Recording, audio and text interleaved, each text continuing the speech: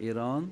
حسين أمير عبد اللهيان وزير الخارجية إيران رح يكون هو الرسالة وموضوعها ومحورها ورح يملي كل الكادرات والصدمة مش ممنوعة. قائد فيلق القدس رح يكون رجل الأهداف الدسمة منشأة إيرانية بتولع وبتولع محيطها. فجأة بتنخرق كل تخزق كل وراء بين إيران وأمريكا وبالأفق صيغة مبرمة باهظة الثمن لا رجوع عنها.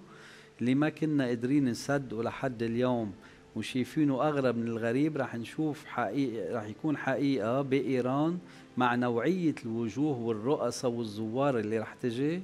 عهد إيران بالزلازل والهزات راجع ولو بحلة مختلفة.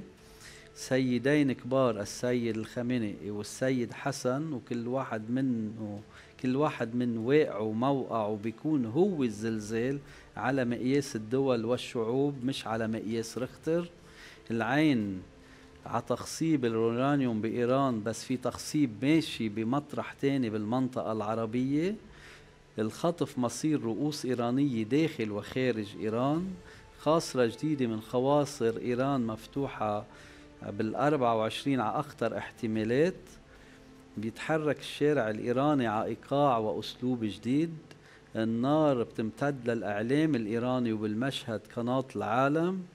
قرب الوقت إيران رح تنتقم بالجملة وبدفعة وحدة على اللي قتلوا قوادة من سليماني إلى رضا موسوي رضي موسوي.